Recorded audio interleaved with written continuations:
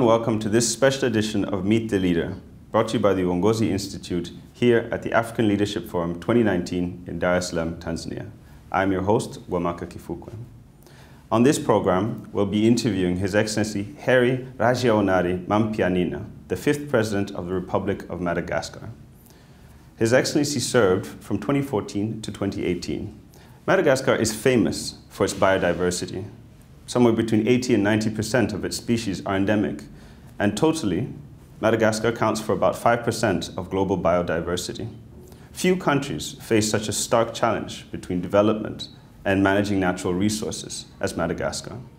And so on tonight's program, we'll be learning from His Excellency Rajaonari Mampianina about how Madagascar, under his tenure, managed these natural resources and what lessons can the world, and especially Africa, learn from those experiences. Your Excellency, welcome to the program. Merci beaucoup. So, all African leaders face this fragile tension between the environment and development. During your time as president, how, how did you approach this, this tension? En tout cas, je vous remercie d'abord de m'avoir invité à, à cette euh, émission. Je vais parler de Madagascar aujourd'hui. Euh, on va parler d'environnement euh, et la une bonne gestion de, l'environnement, euh, promouvoir une bonne gestion de l'environnement. Mais avant cela, je, pense que pour bien placer euh, notre discussion, je voudrais situer euh, un peu Madagascar dans le cadre de ce qu'on va discuter, parce que on va parler de ressources naturelles et aujourd'hui, je peux vous dire que Madagascar est vraiment riche en ressources naturelles. Madagascar représente 5% de la biodiversité mondiale et 85% à 90% des espèces qui existent à Madagascar sont endémiques au pays. Mais malheureusement, nous vivons une paradoxe, un paradoxe, c'est que nous sommes riches en ressources naturelles alors que Madagascar figure parmi les pays les plus pauvres du monde. Donc, ça crée une tension. C'est ça le déséquilibre entre la richesse euh, du capital nature dont on dispose et de l'autre côté la pauvreté de, euh, la situation. Donc, bien évidemment, cela va avoir un impact euh, sur la, gestion politique du pays. je crois que ce déséquilibre est dû tout simplement euh, à différents facteurs. Mais un des facteurs les plus importants, je crois, c'est la pauvreté. Parce que la pauvreté entraîne les populations à détruire euh, cet environnement, euh, ces ressources naturelles. Alors qu'en détruisant ces ressources naturelles, ils vont encore hypothéquer l'avenir et retomber dans la pauvreté. Donc c'est un cercle vicieux, la pauvreté, destruction des ressources naturelles. Et euh, bien évidemment, l'équilibre est très fragile entre cet intérêt de vouloir bien gérer les ressources naturelles et de l'autre, euh, la pression euh, venant de ces populations qui vivent de ces ressources naturelles, donc qui sont obligées, d'une certaine manière, d'exploiter euh, ces ressources naturelles. De l'autre côté, il faut dire qu'il y a aussi d'autres facteurs, c'est euh, l'accroissement démographique qui constitue une pression euh, sur l'utilisation des ressources naturelles et bien évidemment cette absence d'alternative sur l'utilisation de, des produits forestiers par exemple qui sont coupés pour devenir des bois de chauffe ou du charbon je parle surtout du charbon parce que c'est euh, un des facteurs qui euh, euh, contribue à la destruction de, des forêts. Donc, il faut trouver des solutions à, tout cela. Donc, moi, je voudrais vous dire que lorsqu'on parle de ressources naturelles, de gestion de ressources euh, naturelles, on va vraiment dans le cadre d'une politique de développement. Et dans le cadre de politique de développement, il faut que les dirigeants euh, arrive à justement à, trouver cet équilibre qui est difficile encore à trouver, mais euh, c'est l'objectif de tout dirigeant d'arriver à, cela. Mais d'autres facteurs aussi qui conduisent à, vraiment à cette réduction des, des ressources naturelles. Et c'est ça, c'est ça, c'est encore plus dangereux, c'est qu'il y a des trafics, donc des trafics illégaux bien évidemment, des exploitations illégales plutôt, comme là, au niveau de la pêche. Et, là, les résultats sont, sont vraiment très euh, très important parce que d'après une étude que nous avons effectuée, euh, chaque année, nous perdons à peu près 500 millions de dollars au niveau des, euh, des pêches illégales. Et si le pays avait 500 millions de dollars, c'est ce qu'il lui faut au moins, je dis bien au moins, tous les ans pour faire des actions de, développement. Mais ces trafics aussi entraînent euh, donc une destruction des ressources. Parce qu'il y a des coupes et des exportations de bois précieux, les bois de rose. Il y a des exportations illégales euh, d'animaux. Il y a des tortues, il y a des oiseaux, euh, etc., qui sont endémiques à, Madagascar.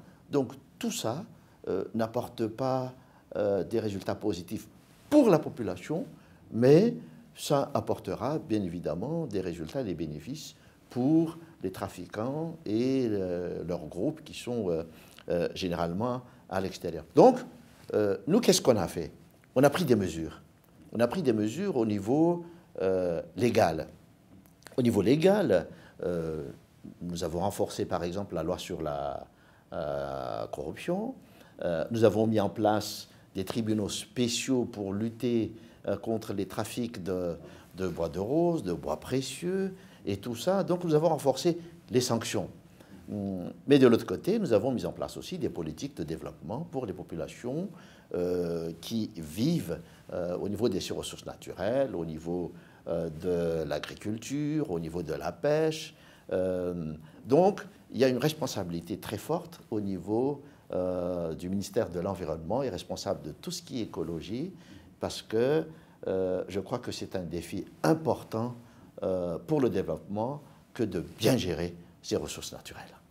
So during your presidency, how much success did you have in, in, in combating this kind of illegal natural resource exploitation? And, and what frustrations did you face in trying to implement some of your policies and some of your strategies? Mm-hmm. euh, je voudrais d'abord vous dire que c'est une lutte euh, à moyen et à long terme.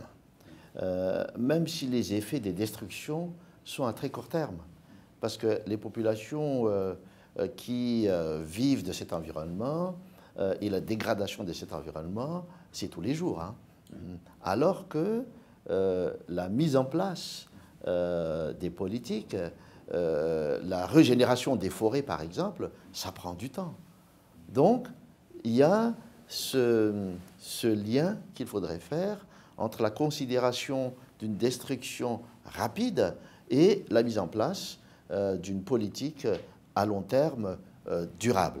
Donc c'est ça le plus important, c'est d'avoir euh, une politique durable et c'était le défi que j'avais pour protéger cet environnement, mais pour aussi assurer un développement économique de la population, parce que en améliorant les conditions de vie de la population, je crois que on aura moins de pression sur, euh, sur l'environnement.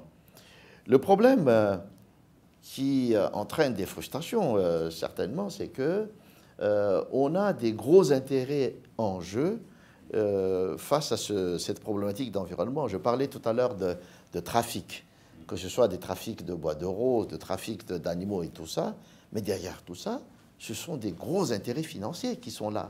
Donc ce sont des gens qui ont des réseaux au niveau local, c'est-à-dire dans le pays, mais qui ont des réseaux aussi, des ramifications au niveau d'autres pays. Et euh, c'est ça qui est euh, un peu frustrant lorsque vous savez que le bateau euh, qui exporte et qui transporte ces objets ou animaux illicites partent et que vous n'avez plus le contrôle sur ces bateaux-là. C'est ça qui est, qui est très frustrant.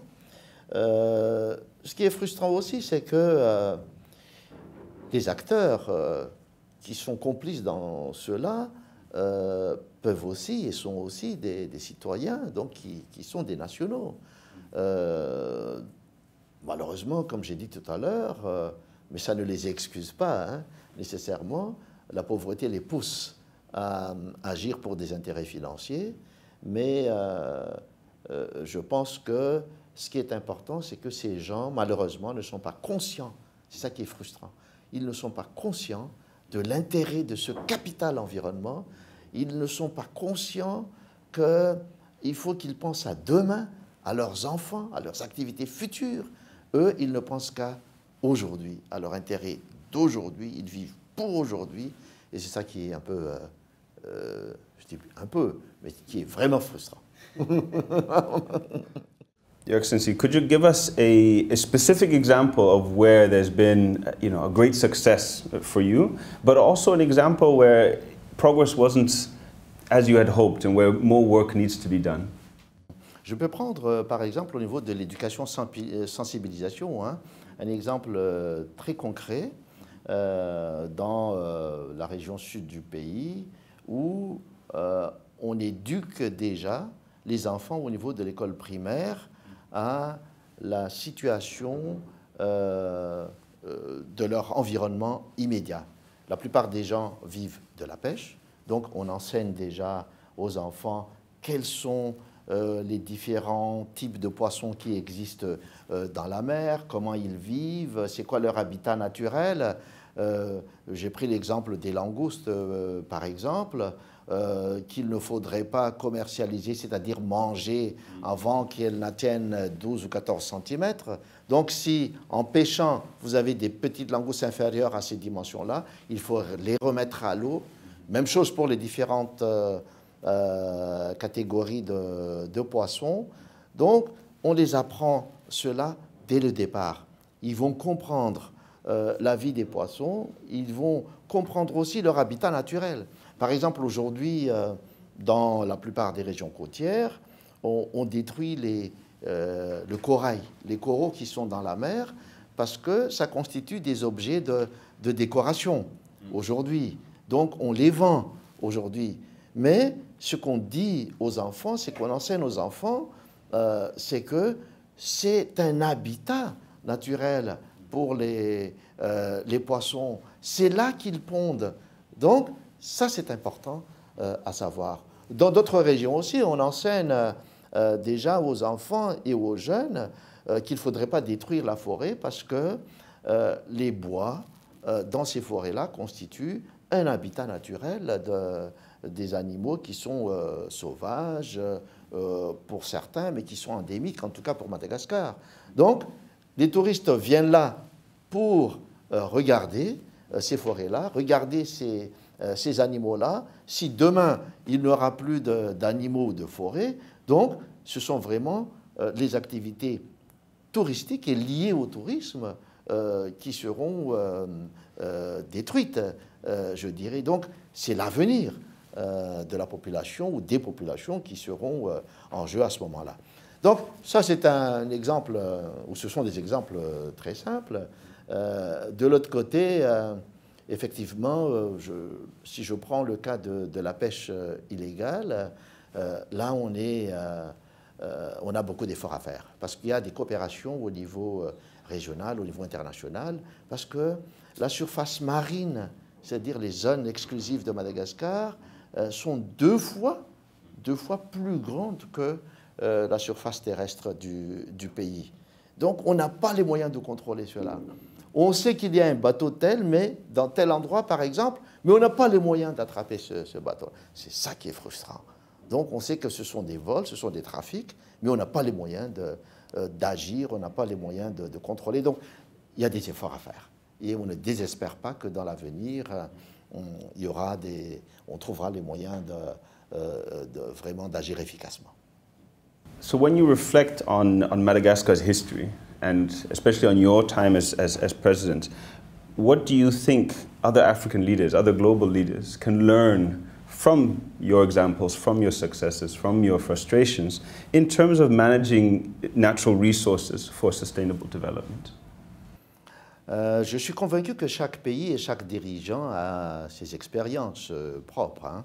Euh, moi, j'en ai eu et euh, je crois que ce qu'on peut tirer comme, euh, comme leçon, c'est ce que je disais tout à l'heure, il faut que euh, toute politique euh, et toute volonté de vouloir bien gérer les ressources naturelles s'inscrivent dans le cadre d'une vision à long terme. Donc il faut qu'on ait une politique de gestion de l'environnement de manière durable, donc ça, mais aussi, ce qui est important, c'est ça la leçon que j'ai apprise, euh, il faut que ce, ce, processus, ces stratégies soient inclusives. Parce qu'il faut qu'on focalise toute la vision et toute la stratégie sur les populations, c'est-à-dire sur l'homme. Il faut trouver toujours cet équilibre-là. Et ça, je pense que c'est très important. On a pu constater, et je pense que dans euh, d'autres pays aussi euh, africains, on a constaté que le, niveau euh, faible euh, d'éducation constitue euh, justement une sorte d'entrave à, la bonne gestion. il y a aussi un manque de sensibilisation. Donc ça, ce sont des, des axes, des leçons que l'on pourrait tirer sur cette expérience-là. Ce qui est intéressant à dire, c'est que les solutions existent. Donc c'est ce que j'ai appris. Parce que quelquefois, au début, on est, euh, vraiment euh, face au problème, on, semble être désarmé face au problème, parce que euh, les problèmes sont immenses lorsqu'on parle de, l'environnement. mais ce qui est réconfortant, c'est que les solutions existent. Donc il faut vraiment une volonté de la part des pouvoirs publics et il faut inclure tous les acteurs dans le cadre de cette volonté de, euh, de, bonne gestion de, de, cet environnement et mettre en place une véritable politique de, de développement. So if we now look looking forward, uh, what leadership challenges do you, do you see, do you anticipate with regards to sustainable development? And not just in Africa, mm -hmm. the world generally? What, what are the leadership challenges that, that, that you see coming? Mm -hmm. Moi, je crois qu'aujourd'hui, que ce soit dans le monde ou dans le cadre des pays africains, on est conscient qu'il y a une menace sur l'environnement. Il y a une menace et, euh, d'ailleurs, euh, une des problématiques importantes que nous avons discutées déjà, c'est sur les changements climatiques.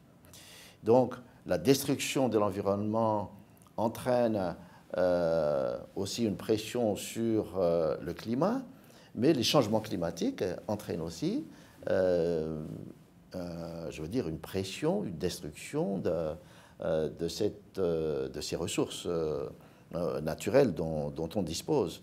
Donc, face au problème, je disais tout à l'heure qu'on a des solutions. Donc, il faut vraiment un fort leadership politique. Il faut que les pouvoirs publics prennent les devants dans les actions à entreprendre. Je disais tout à l'heure qu'il y a des actions au niveau juridique qu'il faudrait entreprendre. Euh, il y a des actions d'éducation, de sensibilisation euh, qu'il faudrait entreprendre, mais je crois qu'il y a aussi euh, des actions au niveau international et régional qu'il faudrait entreprendre. Parce que je disais tout à l'heure, les trafics qu'il y a, les marchés ne sont pas dans le pays, les marchés sont dans un autre pays, à l'extérieur du pays. Donc il faut vraiment qu'il y ait une concertation, une collaboration au niveau euh, international dans ce cadre-là pour lutter contre, euh, contre ces trafics-là. Donc, je pense que euh, c'est un leadership qui doit être bien éclairé. Il faut que ça parte aussi, les intérêts et les stratégies partent de la bonne compréhension des intérêts de la base et des populations. C'est ce que je disais tout à l'heure en termes d'inclusivité. Donc, il faut qu'on pense à ces populations-là, et euh, je crois qu'aujourd'hui, euh, les solutions existent. Nous avons euh, les nouvelles technologies qui, sont là. je parlais au début de, la problématique de charbon, hein, pour laquelle on n'a pas encore vraiment trouvé les, solutions.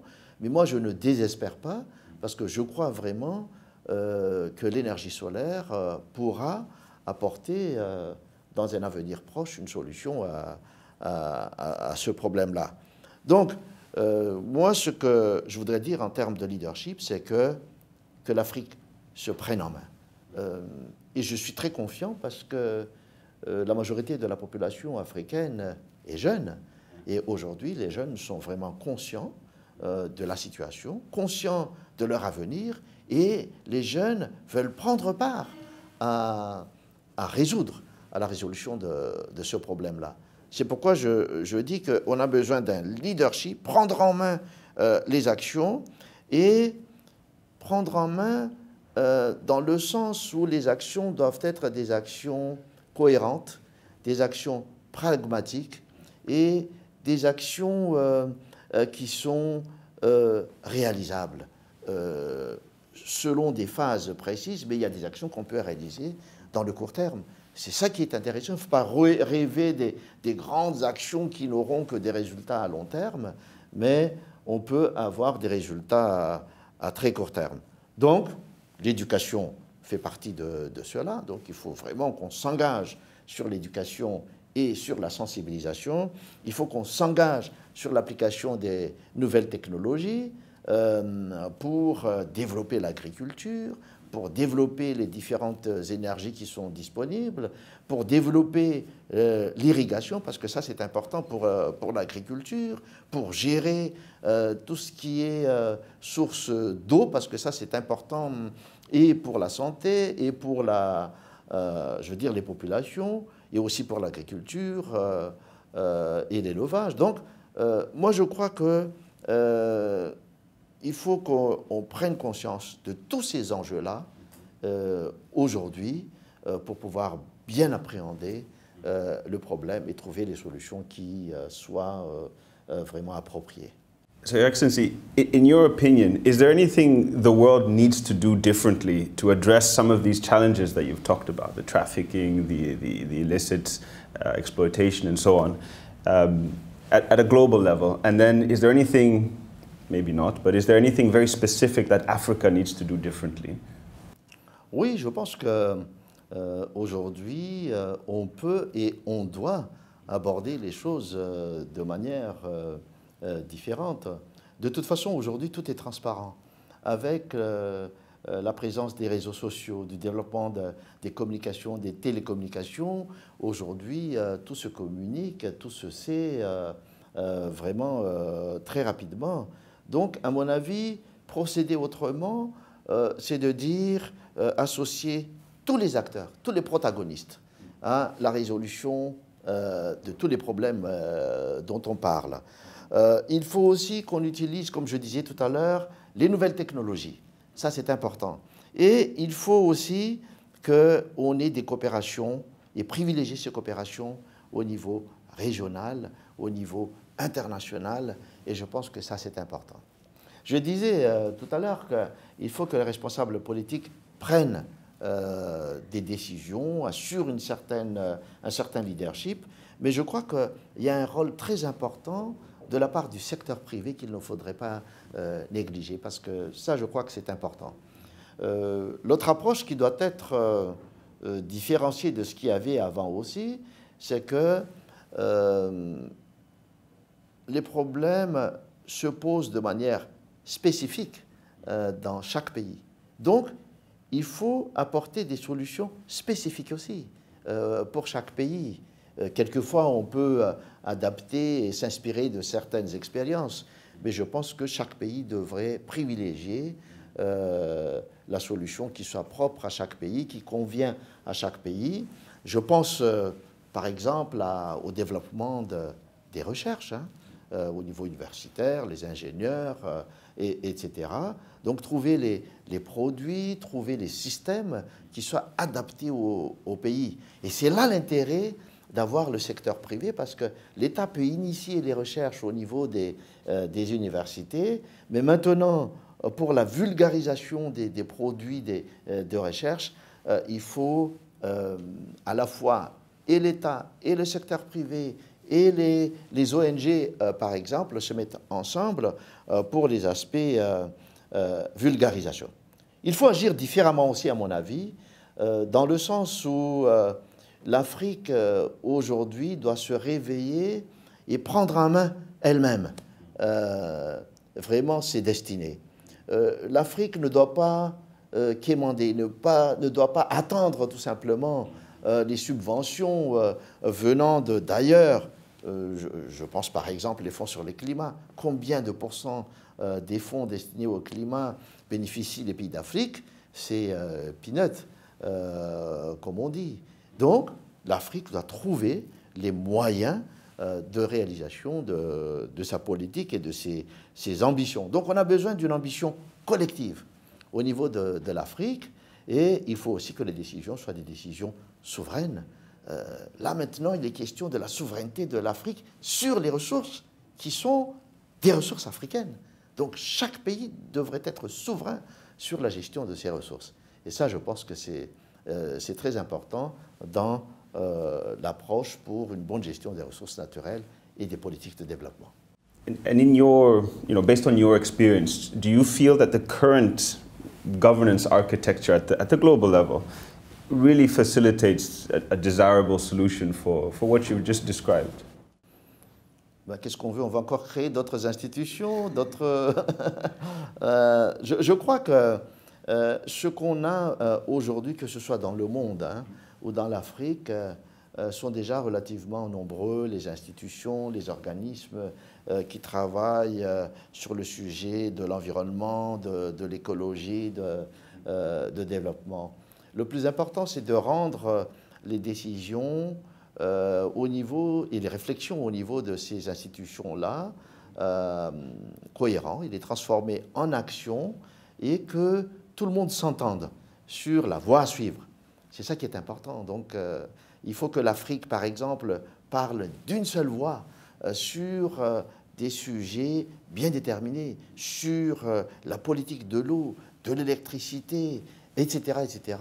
Donc, moi, je, crois que aujourd'hui, on a déjà des structures qui sont là. Et essayons de, de rentabiliser ces structures-là, quitte à appliquer de nouvelles méthodologies de, travail. Euh, la démultiplication de structures euh, n'est pas nécessairement la, solution. Euh, je pense par exemple à ce forum qui est organisé par Yongozi Institute ici à, Dar es Salaam.